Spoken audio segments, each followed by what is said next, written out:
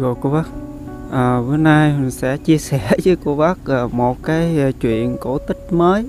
À, đó là chuyện cổ tích về cái hoa thiên lý.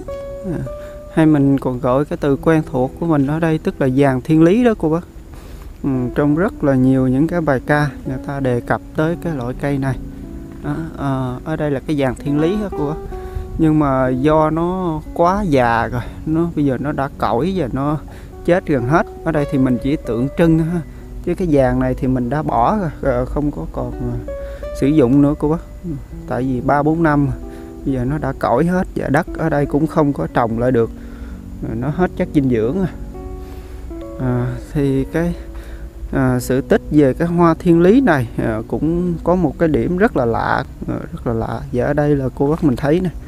À, hoa thiên lý nè cô bác. À, hoa thiên lý đây.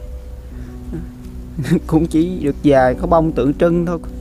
Chứ gần như là nó đã chết hết rồi.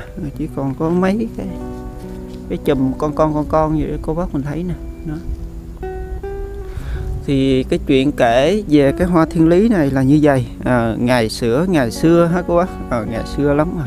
Thì ở một cái ngôi làng nọ có một cái chàng trai. À, chàng này có một cái nghề à, đó là nghề thổi sáo cô bác. À mình phải nói đúng hơn cái đó là cái sở thích chứ không phải là nghề.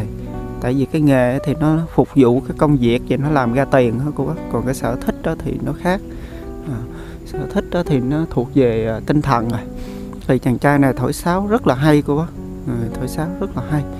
À, và cái điều hiển nhiên á, thì à, cái chuyện cổ tích đề cập á, thì thường là những cái nhân vật của mình thì sẽ rất là đẹp hả cô bác. À, chuyện cổ tích thì thường như vậy à, nghe nói cái chàng trai này rất là đẹp lại có cái tài thổi sáo. Cho nên rất là nhiều những cái cô gái à, yêu thích cái chàng trai này. Và chẳng bấy lâu sau thì cái chàng trai này đã cưới vợ à, có một cái người vợ cùng ở trong làng. À, không biết cái cô vợ này có đẹp hay không nhưng mà chắc cũng đẹp. Tại vì những cái sự tích thời xưa à, thường đề cập đến những cái cái tính tình tốt đẹp về những cái con người à, cũng rất là đẹp. Cũng như những cái vị vua mà khi đi ngang một cái ngôi làng nào đó thấy một cô gái quá xinh đẹp à, rồi lại đem về hoàng cung à, lập lên à, cái ngôi à, hoàng hậu và dân dân à, cũng giống như là cái sự tích mà của hoa trinh nữ đó cô bác à, hoa trinh nữ. Rồi gặp một cô gái rất là đẹp ở giữa rừng rồi đem nàng về à, phong nàng lên hoàng hậu và một số cái sự tích khác. Dân dân bầy chim thiên nga đó cô bác à, nhà vua đi săn vào rừng cũng gặp một cô gái rất là đẹp cái đem về à, đưa lên ngôi hoàng hậu. À, nhưng mà không có nghe à, đề cập đến à, cái việc cái vị vua này cái vị hoàng tử này hoặc là những cái chàng trai này à, trước khi à, gặp cái sắc đẹp của cô gái này có tìm hiểu cái tánh nết cái đức tánh của cô gái này như thế nào hay không giả sử vậy. Nhưng mà trong chuyện đa số người ta chỉ đề cập là gặp một người đẹp rồi cái đem lòng yêu thích rồi bắt đầu đem về hoàng cung cưới làm vợ thôi còn những cái tánh tình tốt đẹp thì sau này mới kể. Vậy là những cái chuyện cổ tích thì nó có một cái điểm chung như vậy thôi cô bác? À, có một cái điểm chung vậy. Thấy người đẹp là cưới thôi. À, nhưng mà cái chuyện cổ tích đó thì thường nó đề cao về cái đẹp và nó đề cao về à, cái tấm lòng nhân hậu của những cái nhân vật chính ở trong truyện hả cô đó. thì ở đây sau khi cái chàng trai mà cưới vợ rồi đó cô bác à, để mình nhích lên chút xíu ngồi cho nó đỡ mỏi chân đó cô. Thì cái chàng trai này sau khi cưới vợ rồi thì một số những cái cô gái khác đó thì người ta đem lòng ganh tị cô bác à, ờ, ví dụ như uh, mình cũng thích cái cô B cô A gì đó nhưng mà cái anh kia cũng thích cô B cô A gì đó. À, nhưng mà cái người này à, cưới được à, còn cái người kia cưới không được thì người ta đem lòng ganh tị của bác thì ở đây cái sự ganh tị nó không phải diễn ra ở với loài người mà nó còn diễn ra ở với những cái con vật nữa của bác. Thì ở cái khu vực của cái chàng trai này ở là có một cái con rắn à, con rắn lục đã lâu năm rồi. À, nó đã tu luyện và nó đã hóa được cái thân người của cô bác. Ừ, nó cũng rất là say mê cái tiếng sáo của cái chàng trai này. À, và khi thấy cái chàng trai cưới vợ rồi à, thì nó cũng rất là ganh tị với cái à, cô gái mà được làm vợ của cái chàng trai thổi sáo hay này. Đó. thì một hôm chàng trai có việc đi ở nơi xa đó cô bác ờ, ở nơi xa. Rồi đôi ba hôm trở về khi mà về vừa tới cái cổng làng đó cô bác thì cái cô gái này à, à, cái cái cô gái là cái con rắn đó cô bác à, hóa thân giống hệt như à, là cái hình dáng của cái người vợ của cái chàng trai này. Đó, đi vừa tới cổng làng chàng trai là thấy cái người vợ mình ra đón nó cũng rất là lạ à, cũng rất là lạ. Thì thường thì thường những cái khi trước anh có việc đi á cô bác nhưng mà không có uh, trở về thì cái người vợ anh không có ra tuốt ở ngoài cổng làng đón như vậy thì bữa nay uh, anh nghĩ có lẽ cái người vợ vì quá thương nhớ mình uh, nên ra ngoài đây uh, đón như vậy. Thì anh dắt tay vợ cùng trở về nhà thôi ơi, bị ai chửi bới gì nữa rồi. Thôi ơi. Rồi qua kể cái sự tích kệ ẩu với cô bác. Nhắc về cái chuyện ăn uống. Chắc là bị chửi dữ lắm. Tại vì bây giờ những cái kênh ẩm thực á, cô bác Cô bác để ý. À. Cái chuyện ăn uống nó quan trọng lắm. Thành ra qua mình bài xích cái vụ ăn uống Chắc cũng bị chửi dữ lắm, Bị dislike dữ lắm. Thôi trở lại cái chuyện bữa nay á cô bác? Có nghĩa là à, khi mà chàng trai này dắt cái cô vợ trở về nhà rồi vừa mở mở cửa bước vào nhà cô bác à, tự nhiên giật mình. Tại cô bác thấy à, biết sao? Ở trong nhà thì có một cái cô vợ y chang như cái cô vợ mà anh ta à, đang dắt vô nhà vậy. Thì trước cái sự kinh ngạc này thì hai cô gái đều nhận là vợ của anh ta hết. Rồi bây giờ sao đây cô bác? Cái giọng nói thì y hệt. À, những cái cốt cách đi đứng thì nó cũng giống hệt. Hình dáng đó thì khỏi nói rồi nó y chang như hai giọt nước. Rồi bây giờ làm cách nào được cô bác? Làm sao biết cái người nào là cái người vợ của mình đây? À, không lẽ mình nghi cái người vợ mà ra tuốt ở ngoài cổng làng đón mình không phải là vợ mình? Tại vì những lần trước thì không có đón. Nhưng mà giả sử ở bữa nay cái cô vợ vì quá thương nhớ mình ra đón là sao? Đúng vậy sau khi mà đi ra khỏi cái nhà rồi thì có một ai đó thì giả dạng làm vợ mình ở nhà rồi sao? Thành ra cũng rất là khó nghĩ ha cô. Thì cái sự việc này nó xảy ra trong nửa ngày chàng trai không thể nào phân biệt được cái người vợ của mình. Đó thì bây giờ sao đây cô á? À, chàng trai mới nghĩ đến một việc có nghĩa là ở trong làng có rất là nhiều những cái vị bô lão có cái kinh nghiệm. Và ngày xưa cô bác những cái việc mà à, những cái con vật thành tinh và nó hóa hiện ra à, làm người đồ dân dân thì rất là nhiều ha cô bác chứ không phải là một à, rất là nhiều. Cho nên cái chàng trai này à, liền đi đến nhà của một cái vị bô lão à, gọi là già làng đó cô bác à, gọi là già làng đó. Mới nhờ cái vị già làng đó à, giúp đỡ à, phân biệt làm sao à, để chàng tìm lại cái người vợ à, thật sự của mình. Thì cái vị già làng này cũng rất là thông minh hả cô? Bác à, rất là thông minh. Cho nên ông mới à, nghĩ ra một cách như vậy. Đó có nghĩa là bây giờ hãy cho hai cái cô gái này à, ngửi ba cái bộ đồ của ba người đàn ông khác nhau. Trong đó là có một cái bộ đồ là của cái người chồng và hai cái bộ đồ là của hai cái người đàn ông khác. Ờ, ở ờ, trong làng. Đó. Thì bây giờ ờ, muốn cho công bằng á, thì phải bịt mắt hai cô lại. Phải không cô á? Phải bịt mắt hai cô lại và cho ngửi ba cái bộ đồ mỗi cô ngửi ba bộ đồ. Hai cô là sáu bộ. Nhưng mà mỗi bên đều có một cái bộ là của chồng. Đó. Thì bịt mắt hai cô lại cô bác. Uh, cô nào mà xác nhận cái bộ đồ đó chính là của chồng mình đó, thì gật đầu. Đó thì hai cô này à, sau khi mà những cái bộ đồ được người ta làm ký hiệu riêng rồi đó cô bác rồi mới cho hai cô này thử. Thì cái cô thật đó thì cô thử trước cô cô à, cô thử trước. Nhưng mà không có qua được cái ánh mắt của cái cô giả cô tại vì cái cô giả là con rắn thành tinh. À, cho nên khi mà bịt cái mắt cô ta rồi á, thì cô ta vẫn thấy bình thường cô bác nhìn xuyên giải bình thường. Đó rồi cho nên cái cô thật cổ ngửi cái bộ đồ nào à, cái bộ đồ nào á cô bác à, là của chồng mình là cổ biết liền cho dù chủ cổ không thấy. Nhưng mà cái cô là con rắn này nè ờ, à, cổ nhìn xuyên qua được cái lớp vải bịt mắt của cô ta nên cổ nhìn trổ ra ngoài cô thấy cái bộ đồ nào có cái ký hiệu có cái cái ký hiệu mà của chồng đó đó, thì cô ta nhận ra liền à, cũng gật đầu. Thì thành ra cái cuộc thi này nó à, nó giống như là cái cuộc đá bóng mà bây giờ tranh giải mà một một đó cô bác một điều đó. Bây giờ cũng rất là khó suy nghĩ ha. Đó. thì hai cô đều nhận đúng cái bộ đồ uh, của cái người chồng. Uh, thì già làng một lần nữa là uh, cái lần đầu tiên đó thì rất là bối rối hả cô đó. thì bây giờ biết làm cách nào đây? Uh, sau một đêm suy nghĩ ông bắt đầu uh, ra một cái kế thứ hai. Uh, có nghĩa là à, cái kế à, ờ, thứ hai này là nói về cái việc ăn uống hả cô à, cái việc ăn uống. Có nghĩa là à, cái sở thích của cái người chồng của mình thường ngày là ăn uống à, à, cái món gì cái món gì thích cái món gì thích. Đó thì già làng mới à, đem ra ba món. Một món là có thể là à, cái món à, à, canh nhưng mà có để gừng. À, một món thứ hai cũng là canh nhưng mà có thể để hành uh, món thứ ba để canh nhưng mà để hẹ nhiều. Giả sử vậy uh, ba món nó có ba cái gì khác nhau? Đó. thì đưa ra ba tô và cho hai cô uh, bắt đầu uh, thử uh, ba cái tô này hết. Mỗi người nếm mà một muỗng một muỗng trên tô này và nhận mùi vị của ba tô đó. Và cho biết là cái tô nào là cái tô là cái món ăn ưa thích của cái người chồng của mình.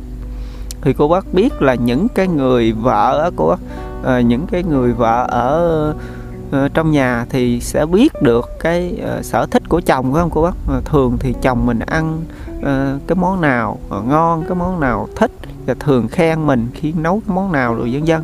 Thì cái người vợ sẽ biết ngay phải không cô bác?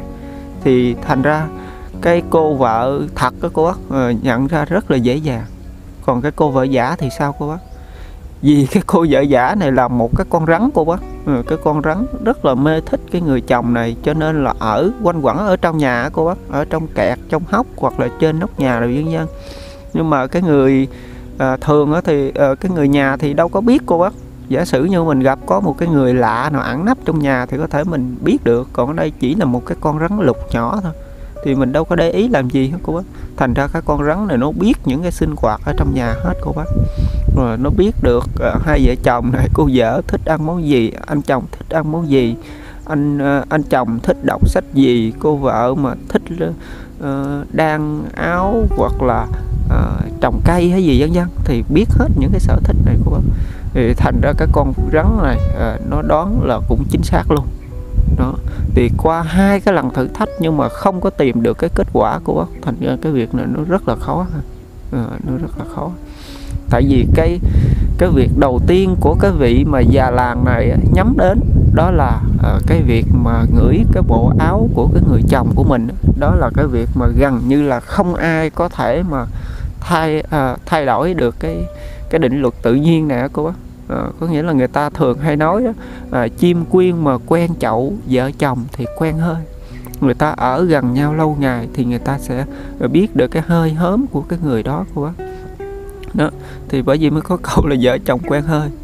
Mà mình thì không có vợ con thành ra không có biết cái cái cái cái, cái hơi cái mùi đó ra sao thì mình không biết. À, nhưng mà à, cái cái câu người xưa kể lại đó à, cụ, mình cũng có thể ví dụ là à những cái người này ví dụ như hai người chung phòng được cô á nhưng mà ở gần nhau ở cạnh nhau hai cái cô bạn này hoặc là hai cái anh chàng này à, ngủ chuột cùng một phòng thuê một phòng trọ của bác ngủ gần nhau thì lâu ngày là người ta có thể là cảm nhận được cái à, cái mùi mồ hôi của cái người kia đó cô bác.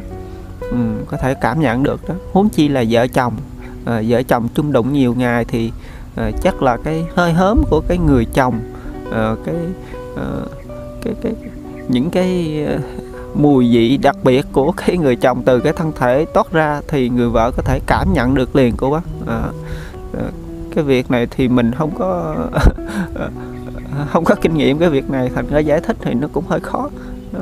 À, nhưng mà nói chung là cái việc đó là cái việc vô cùng khó khăn đó cô bác nhưng mà nó khó một cái là cái con rắn này nó nhìn xuyên trổ qua cái lớp vải che mắt thành ra nó mới thấy cái cô gái là cái vợ người vợ thật đó cô bác ờ, ngửi ra được cái ờ, cái bộ đồ ờ, và nó để ý rồi tới cái Ờ, bộ đồ của nó thì cũng có một ký hiệu ờ, tương tự như cái bộ đồ cô gái kia. Đó thì nó mới ờ, xác nhận của bác. Chứ bình thường là mình đoán là không có thể có cái cô gái nào mà uh, ngửi được cái mùi của người khác mà biết đó là cái người chồng của người khác đâu của không biết được đâu. Đó. tại vì mùi của mỗi người đàn ông là chắc cũng hơi khác khác khác, khác nhau hết. Giả sử như uh, những cái người mà hơi ở dơ một chút xíu thì cái mùi hơi chua à, giả sử như những cái người mà thường ra mồ hôi á cô bác rồi sẽ có cái gì hơi mặn mặn giả sử vậy.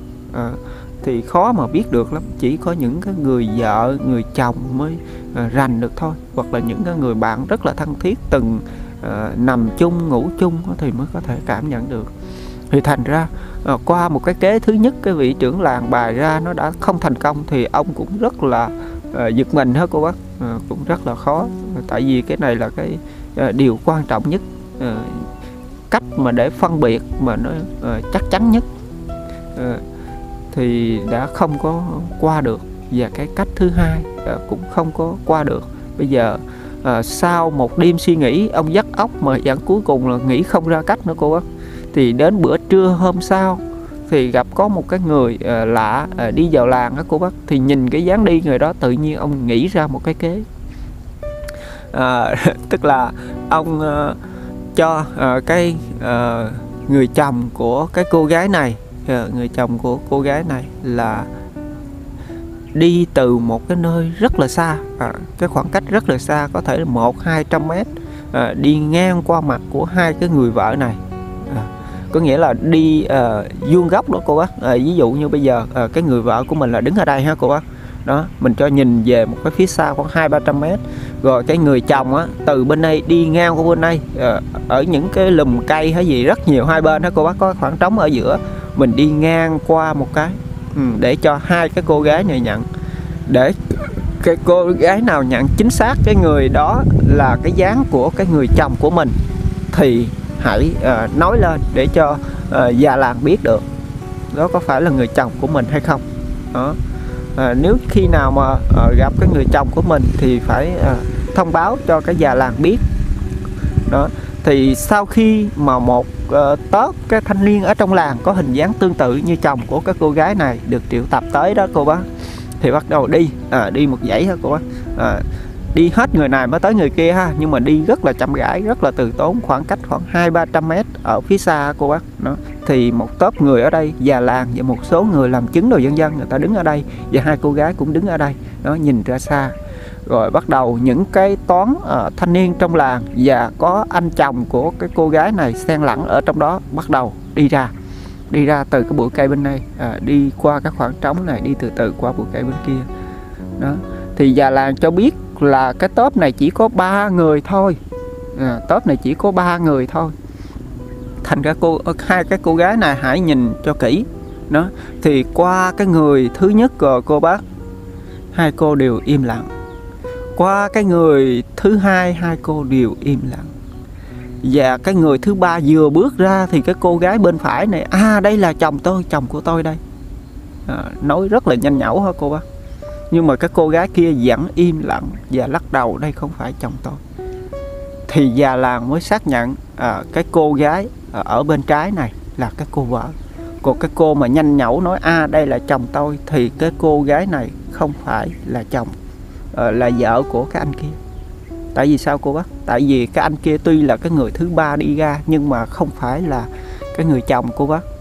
Thì đây là một cái kế nhỏ của cái vị già làng có nghĩa không phải chỉ là có ba người nhưng mà trước khi thi ông nói với hai cái cô gái này chỉ có ba người thôi.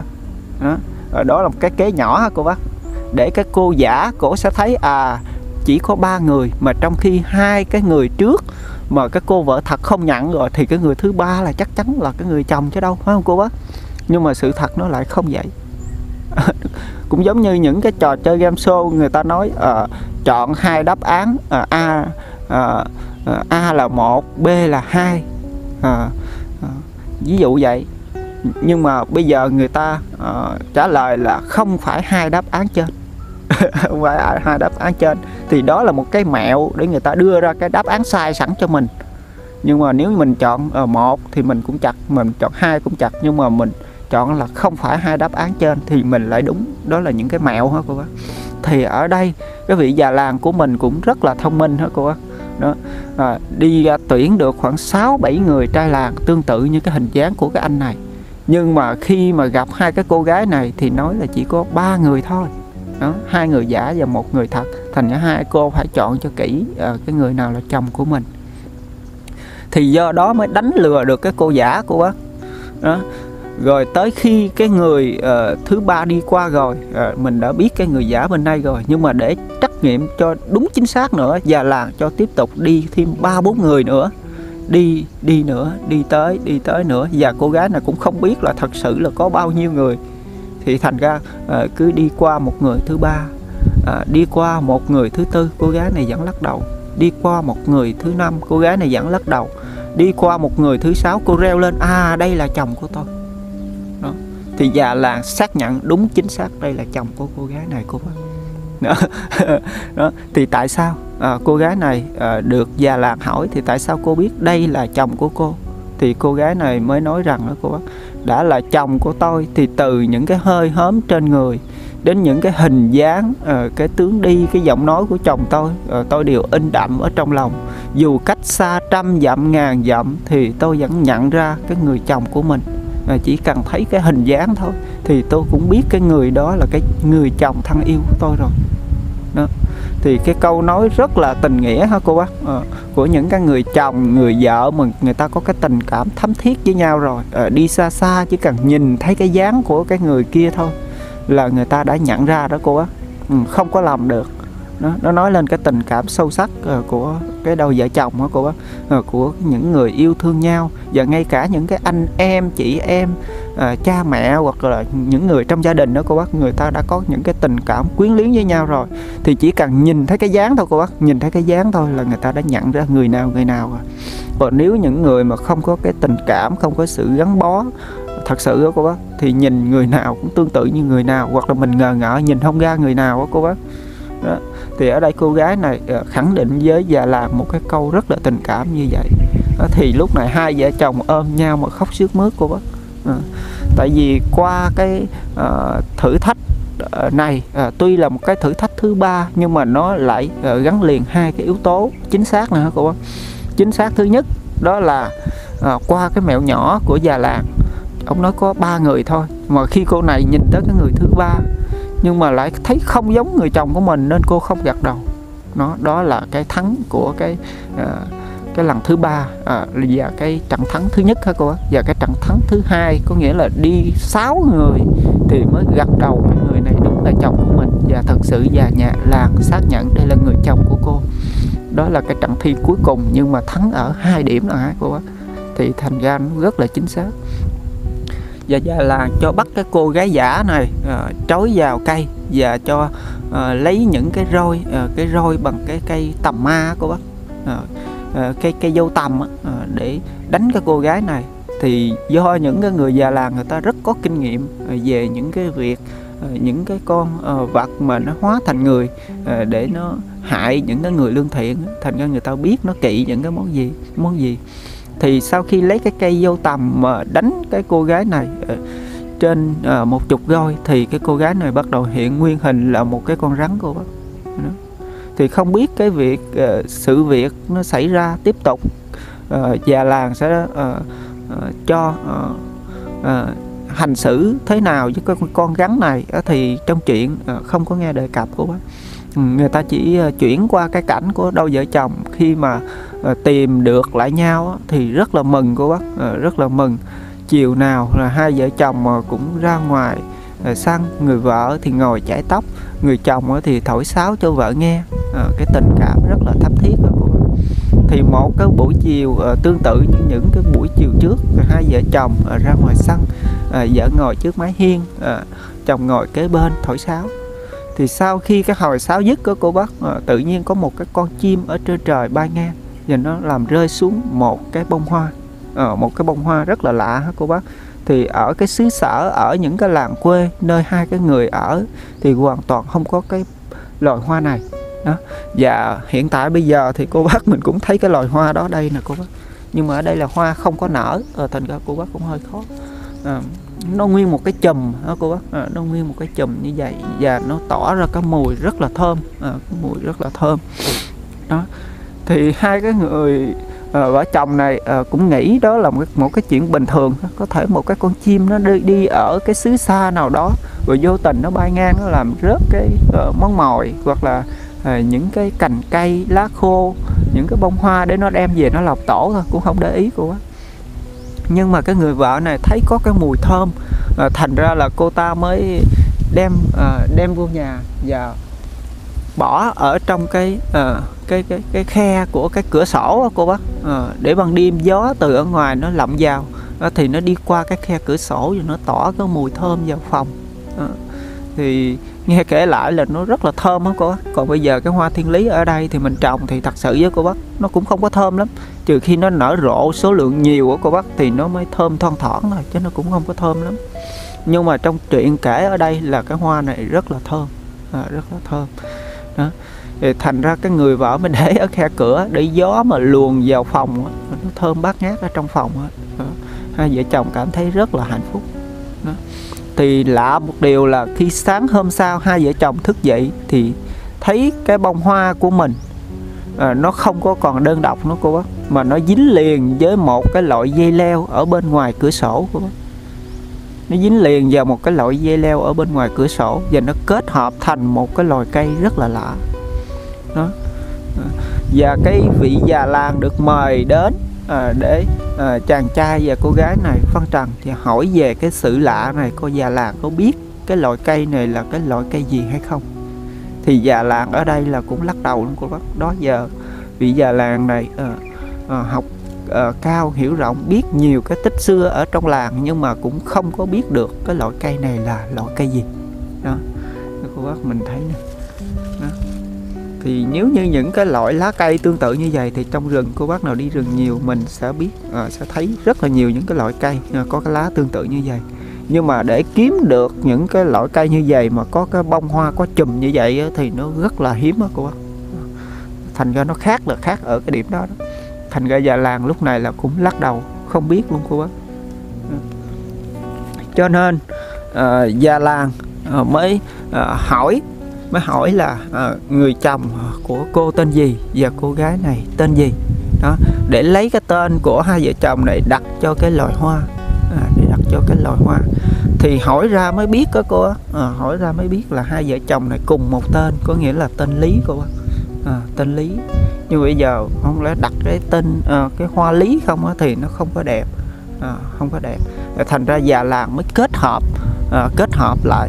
À, có nghĩa là từ cái câu nói của cái cô gái lúc uh, mà chọn cái người chồng đích thực của mình có nghĩa là cô nói à, mà cái người chồng của tôi là cái người đầu ấp tay gối thì vợ chồng ngày đêm hữu hỷ có nhau thì dù cho chồng tôi à, có đi xa cả trăm dặm cả ngàn dặm thì tôi vẫn nhận ra đó là hình dáng của chồng tôi cho dù mà cách ngăn có một cái khe vách một bức tường nhưng hễ nghe giọng nói thì tôi biết đó là giọng nói của chồng tôi đó khi nhìn một món ăn còn đang dang dở à, ở trên bàn thường thì tôi có thể biết được cái món ăn đó của chồng à, tôi đang ăn hay không. Vì đó là cái món ăn ưa thích của chồng tôi giả sử như vậy. Đó thì cái người vợ ờ, nói lên cái tấm lòng tha thiết như vậy ừ, có thể nhìn thấy cái người chồng của mình từ ở nơi xa à, cho dù chỉ là cái hình dáng nhưng mà chưa thấy được tận mặt. Nhưng mà có thể quả quyết đó là người chồng của mình dù cách xa trăm dặm cho nên cái ông già làng ông nghĩ đến cái câu nói của cái cô gái này à, có một cái triết lý ờ, rất là sâu xa. Và nó nói lên cái tình cảm tha thiết mặn nồng của đôi vợ chồng chung thủy. Cho nên ông lấy cái chữ thiên lý đó ờ, ông đặt cho cái tên loài hoa này. Vừa là tên của đôi vợ chồng vừa là nói lên ờ, cái sự kiện cái sự việc mà cô gái đó bày tỏ ở trước làng đó đó, để đặt tên cho cái loại cây loại hoa này và gọi là hoa thiên lý. À, thiên lý hả cô bác? À, nó có hoa gọi là hoa thiên lý còn đây là cây thiên lý. Để nó nói lên cái tình cảm à, của cái đôi vợ chồng à, nó mặn nồng nó thấm thiết như vậy đó cô bác. Còn những cái đôi vợ chồng có cái tình cảm nó hơi lạc lạc đó cô bác thì đôi khi à, người ta à, gặp à, nhau hàng ngày à, sống chung đụng với nhau nhưng mà cái tình cảm không có cô bác thì dù cho kế bên nhau đôi khi người ta cũng không thèm nhìn nữa. Còn những cái đôi vợ chồng mà người ta thương yêu nhau thấm thiết ờ, chẳng hạn giả sử thì à, dù cho à, người ta à, có cách xa ngàn dặm thì người ta cũng vẫn nghĩ về nhau. Và khi từ ở nơi xa người ta nhìn thấy một bóng dáng ai đó thì người ta có thể nhận ra đó là cái người chồng người vợ của mình hay không hay là một cái người nào đó. À, người ta dễ dàng nhìn ra hết đó cô thành ra nó nói lên cái tình cảm sâu đậm của các con người đối với con người. À, cái đó là mình nói chung đó cô bác. Và nói về cái tình cảm của vợ chồng đối với nhau à, đó là cái ý riêng đó cô bác. Đó là cái sự tích về cái hoa thiên lý cái hoa thiên lý của mình đây. Còn nếu nó không có hoa thì mình gọi là vàng thiên lý ha cô bác à, dây thiên lý hoặc là cây thiên lý. À, cô bác thấy nè thiên lý. À, cô bác. Đây là cái rễ của cây thiên lý nó rất là mềm cô bác nó mềm dữ lắm luôn nó rất là mềm à, ờ, cái sức sống của nó cũng rất là tốt. Ví dụ như ở đây à, rất là khô mà nó vẫn còn à, lên những cái chồi xanh nè cô bác. À, những cái chồi xanh. À. À, cô bác mình thấy à, cái vàng thiên lý này dài khoảng 70 mét cô bác. 70 mét. Hồi trước thì nó có bông rất là nhiều nhưng bây giờ nó đã cằn cỗi rồi bây giờ nó đã không có còn ra bông nữa cô bác. À, và nó cũng sắp chết hết rồi. Đó. đó là cái sự tích về cái hoa thiên lý. Và cốt ý của cái câu chuyện này à, nói lên à, cái tấm lòng à, chung thủy mặn nồng của những cái đôi vợ chồng đối với nhau. Nó à, thì dù xa cách nhưng mà vẫn như gần gũi thôi cô bác. À, còn những cái đôi vợ chồng mà không có cái tình cảm với nhau rồi thì dù gần gũi thì cũng như xa cách mà thôi.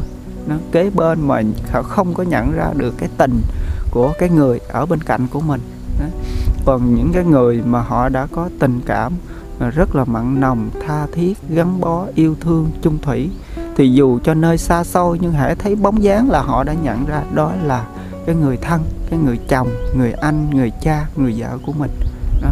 À, cái ý nghĩa các câu chuyện rất là hay hả cô á còn ở đây thì có rất là nhiều những cái câu chuyện à, về những cái sự tích à, sự tích về cây chanh cây hạnh à, cây ổi rồi mình đã kể rồi đó cô bác có rất là nhiều cây và những cái sự tích khác nhau. Nhưng mà mình tìm một cái những cái sự tích nào mà nó có ý nghĩa à, chia sẻ với cô bác thì nó sẽ hay hơn đó cô bác. Còn những cái sự tích mà nó không có ý nghĩa thì mình kể ra. Rồi à, phân tích thì nó cũng không có à, tròn được cái cái ý mà à, muốn diễn đạt ra. À, à, kể ra mà nó không có ý nghĩa gì thì nó à, cũng ổn ha cô bác à, còn cái cây thiên lý này à, có ý nghĩa rất là hay. Và những cái sự tích trước cũng vậy à, cũng rất là hay luôn. À, nhưng mà mình là không có phải là chuyên bên kể chuyện thành ra nói chuyện không có hay cô bác.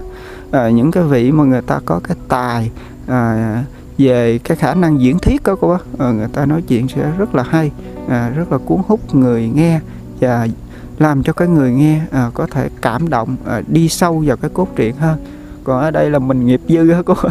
À, mình kể chuyện cho vui thôi. À, để cô bác giải trí thôi. À, rồi à, tới đây là cái chuyện chuyện về cái hoa thiên lý của mình. À, tới đây à, kết thúc ha cô bác? Rất là cảm ơn cô bác đã à, nghe xem từ đầu cho đến cuối chuyện luôn. Còn đây là cái hoa thiên lý nè cô bác. Đó cô bác xem cận cảnh một lần nữa cái hoa thiên lý đó cô bác. Đó. rồi vậy là chuyện của mình tới đây kết thúc luôn ha cô bác? Rất cảm ơn à, những cái cô bác đã à, xem và ủng hộ kênh luôn. À, à, mình đã cố gắng à, trong thời gian gần nhất à, đi quay à, những cái series tiếp theo à, để cho cô bác à, tham khảo. À, rồi cảm ơn cô bác.